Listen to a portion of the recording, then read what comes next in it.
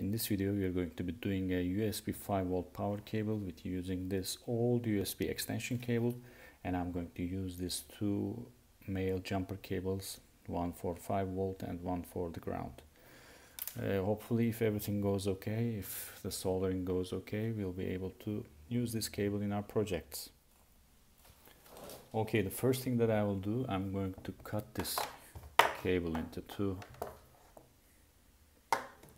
I think this portion is enough.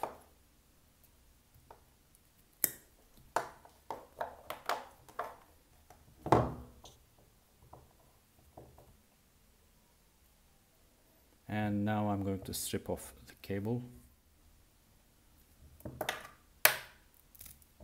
Yes. okay now let's strip off the shield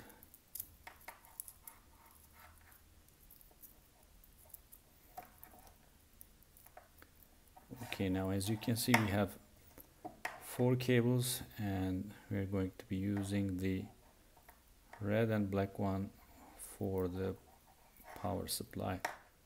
We can use a power bank in order to test this so that's going to be the first thing that I'm going to do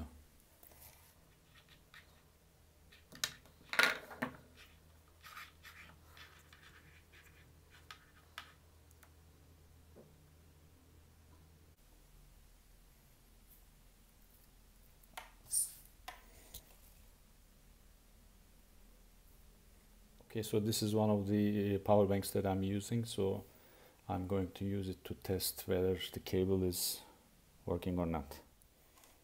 So it seems that while the device is in standby it gives us around 2.4 volts okay?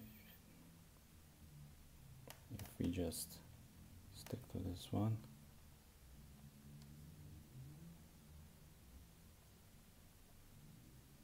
okay 2.4 and once it's open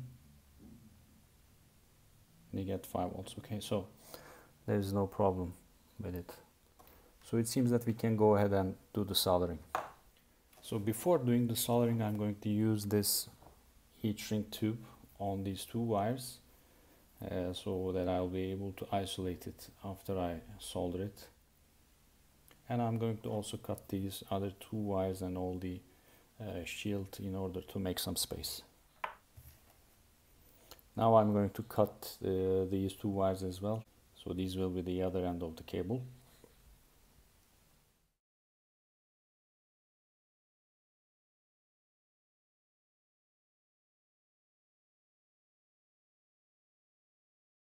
Okay, so finally the other end of the cable is also ready. Now let's continue with soldering these two parts.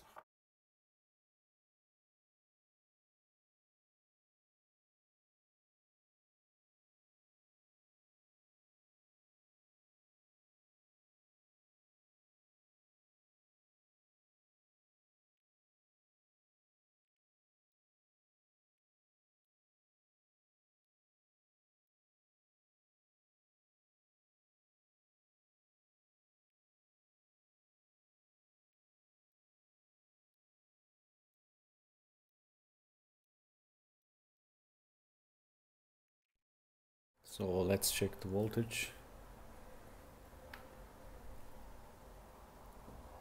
Now, when it's in standby, you can see that it's 2.4.